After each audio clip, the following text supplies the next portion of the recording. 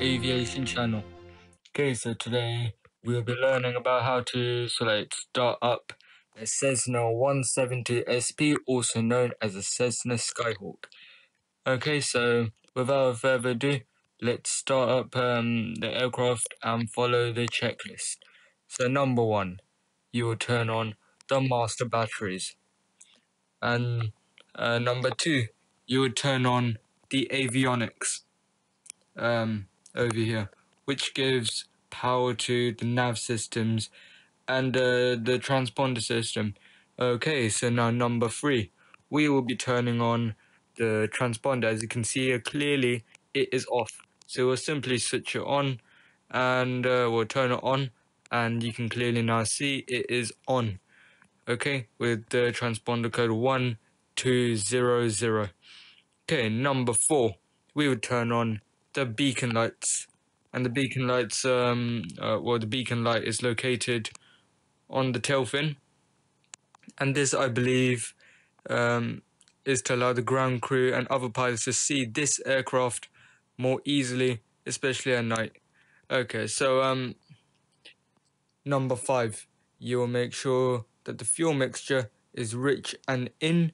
And number six, um, you'll make sure that the propeller uh, is clear from any obstruction. And uh, as you can see here, it is clear, definitely clear from any obstruction.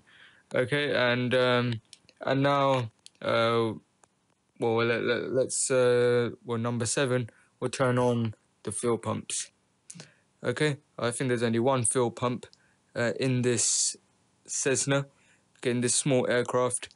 Um, and now we're ready to start the engines or uh, the engine of this uh, aircraft. Okay, so uh, as you can see here, the revs it's on.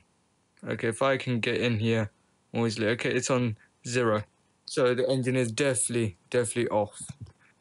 So um, now we have the fuel pumps on. Let's uh, do step number eight, which is to uh, put the magnetos into the start position. And I believe, yes, yes, it started up.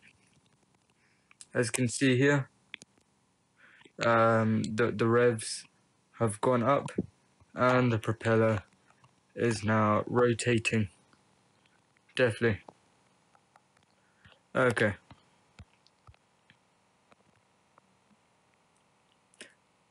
So we'll let the revs climb up just a bit, okay. We'll put in a bit of power. Okay. So we just want to raise the temperature a bit. Okay, I think this will be enough. I think the engine will, um, the engine temperature will rise automatically. As you can see here, the temperature of the engine area. Okay, anyway. Um, so number nine, we will turn on, uh, I believe, the battery alternator, which charges the battery uh, while the engine is running. Okay, so now we'll, turn, we'll switch off um, the fuel pump. Okay, now it's off, and we will turn on the navigation lights. And the navigation lights are two lights um, mounted uh, on each side of the wing. On the left is the red light, and on uh, the right hand side is the green light. You guys can see here. Well, it looks blue here, but well, I mean, it should be green. So anyway, let's go back into the cockpit. Okay, cool. And um, I think that is uh, as far as you got. Um, no, I mean, we start up the engine of the plane. We start up the plane, thing like that and um, I think I pretty much skip the sort of um, step where I wait for the engine to warm up. Yeah, who cares? Okay, so anyway, um, we'll put down uh, the parking brake, uh, and um, well, let's start going, and uh, I'll just put on the flaps. I think this plane can take off without the flaps engaged, but we put the flaps on 10. Okay, so the V1, uh, as far as I know, on this aircraft is 55 knots. So um, as soon as this shows 55 knots, we'll uh, we'll reach sort of V1 and uh, we'll lift off and take off. Okay, so let's get the control yoke uh, to visible position. Control yoke is working. Cool.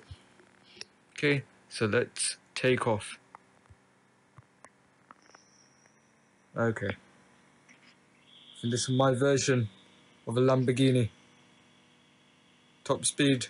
Um, well, I mean, I think I can cruise uh, in clear skies at around 130 knots, about 100 and believe 45 miles per hour. Oh gosh, I've okay. V1 rotate. Didn't pay attention to my uh, airspeed indicator. Okay. So thank you very much for listening. Um, and please comment and like this video uh, if you liked of course and please subscribe to this YouTube channel and I hope to see you uh, next time in the aviation channel. Thank you very much for listening.